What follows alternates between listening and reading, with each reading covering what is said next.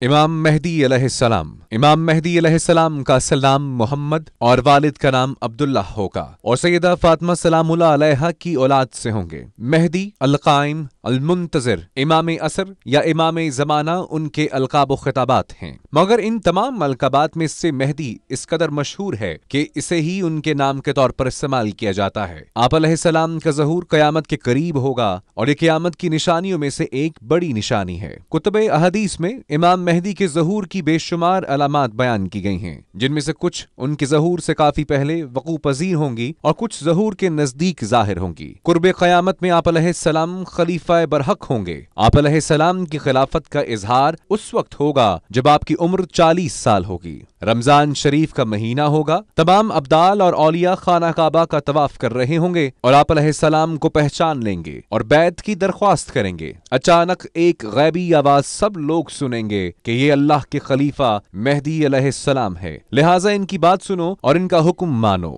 حجر اسود اور مقام ابراہیم کے درمیان آپ علیہ السلام کی خلافت کا اعلان ہو جائے گا۔ آپ علیہ السلام کئی جنگوں میں مسلمانوں کی قیادت کریں گے اور فتح ہوگی۔ آپ کی بدولت سے عدل و انصاف قائم ہوگا اور اسلام کا بول بالا ہوگا۔ جیسا کہ حضرت ابو سعید خدری رضی اللہ تعالیٰ عنہ روایت کرتے ہیں کہ رسول اللہ صلی اللہ علیہ وآلہ وسلم نے فرمایا، مہدی مجھ سے ہوگا، اس کی پیشانی کشادہ اور ناک اونچی ہوگی، وہ زمین کو عدل و انصاف سے اس طرح بھر دے گا، جس طرح وہ ظلم و جور سے بھری ہوئی تھی اور وہ سات سال تک حکومت کرے گا۔